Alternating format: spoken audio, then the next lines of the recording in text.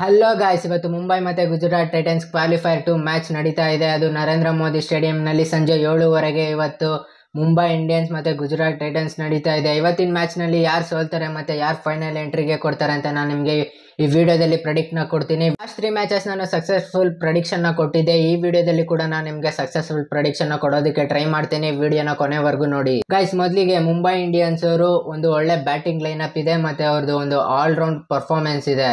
Gujarat Titans ಅವ್ರ ಕಡೆ ನೋಡ್ಬೇಕಂತಿದ್ರೆ ಯಾವ ಪ್ಲೇಯರ್ಸ್ ಕೂಡ ಕನ್ಸಿಸ್ಟೆನ್ಸ್ ಆಗಿ ಪರ್ಫಾರ್ಮ್ ಮಾಡ್ತಿಲ್ಲ ಮತ್ತೆ ಯಾರು ಕೂಡ ಅಷ್ಟೊಂದು ಕನ್ಸಿಸ್ಟೆಂಟ್ ಆಗಿ ವಿಕೆಟ್ಸ್ ಅಥವಾ ರನ್ಸ್ ಆಗಲಿ ಯಾರು ಕೂಡ ತೆಗಿತಾ ಇಲ್ಲ.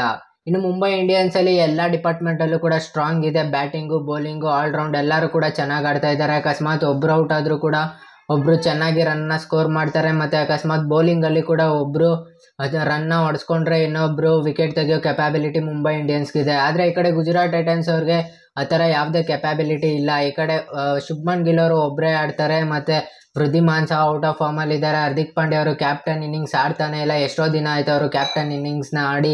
ಇನ್ನು ಮಿಡಿಲ್ ಆರ್ಡರ್ ಅಂತೂ ಫುಲ್ ಫ್ಲಾಪ್ ಆಗಿದೆ ಗುಜರಾತ್ ಟೈಟನ್ಸ್ ಅವ್ರದ್ದು ಅಕಸ್ಮಾತ್ ಚೇಸಿಂಗ್ ಅಥವಾ ಏನಾದರೂ ಇದ್ದರೆ ಮಿಲ್ಲರ್ ಮತ್ತು ಟಿವಾಟಿ ಅವರು ಅಷ್ಟಕ್ಕಷ್ಟೇ ಆಡ್ತಾರೆ. ಲಾಸ್ಟ್ ಒಂದು ಐದಾರು ಮ್ಯಾಚಿಂದ ಅವರು ಕೂಡ ಸೈಲೆಂಟ್ ಆಗಿದ್ದಾರೆ. ಗೈಸ್ ಇನ್ನು ಇವತ್ತಿನ ಮ್ಯಾಚ್ ಯಾರು ಗೆಲ್ತಾರೆ ಮತ್ತು ಯಾರು ಫೈನಲ್ಗೆ ಎಂಟ್ರಿ ಕೊಡ್ತಾರೆ ಅಂತ ಹೇಳೋದಾದ್ರೆ ಗೈಸ್ ಇವತ್ತಿನ ಮ್ಯಾಚ್ ಬಂದ್ಬಿಟ್ಟು ಮುಂಬೈ ಇಂಡಿಯನ್ಸ್ ಅವರು ಹೆವಿ ಫೇವ್ರೇಟ್ ಆಗಿದ್ದಾರೆ. ಯಾಕಂತಿದ್ರೆ, ಅವ್ರು ಲಾಸ್ಟ್ ತ್ರೀ ಮ್ಯಾಚ್ನಲ್ಲಿ ಒಂದು ಒಳ್ಳೆ ಬ್ಯಾಟಿಂಗ್ ಮತ್ತು ಬೌಲಿಂಗ್ ಲೈನಪ್ ಇದೆ. ಅವ್ರು ತುಂಬ ಸ್ಟ್ರಾಂಗ್ ಆಗಿದ್ದಾರೆ. ಎಲ್ಲ ಡಿಪಾರ್ಟ್ಮೆಂಟಲ್ಲಿ ಕೂಡ ಗುಜರಾತ್ ಟೈಟನ್ಸ್ ಅವರು ಸ್ವಲ್ಪ ಓವರ್ ಕಾನ್ಫಿಡೆಂಟ್ ಆಗಿ ಕಾಣ್ತಾ ಇದ್ದಾರೆ. ಟೇಬಲ್ ಟಾಪಲ್ಲಿ ಕ್ವಾಲಿಫೈ ಆಗಿರೋದ್ರಿಂದ, ಮತ್ತು ಅವ್ರದ್ದು ಬ್ಯಾಟಿಂಗ್ ಲೈನಪ್ ಓಪನಿಂಗಲ್ಲಿ ಎಡ್ತಾ ಇದ್ದಾರೆ. ವೃದ್ಧಿಮಾನ್ ಸಹ ಮತ್ತು ಮಿಡಿಲ್ ಆರ್ಡರ್ ಕೂಡ ಫ್ಲಾಪ್ ಆಗಿದೆ. ಬೌಲಿಂಗಲ್ಲಿ ಮೊಹಮ್ಮದ್ ಶಮಿ ಮತ್ತು ರಶೀದ್ ಖಾನ್ ಅವ್ರು ಮಾತ್ರ ಆಡ್ತಾ ಇದ್ದಾರೆ. ಆರ್ ಸಿ ಬಿಲಿ ಹೇಗೆ ನಾಲ್ಕು ಜನ ಮಾತ್ರ ಆಡ್ತಾ ಇದ್ರು ಇವಾಗ?